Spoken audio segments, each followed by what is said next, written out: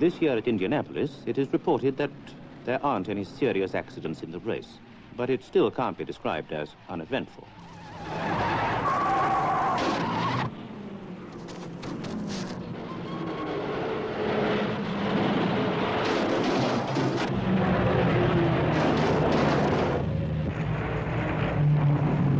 Finally, Wild Bill Cummings passes Mauri Rose to win by 27 seconds. As usual at Indianapolis, the winning car has a Miller engine, one of the most successful racing engines ever built.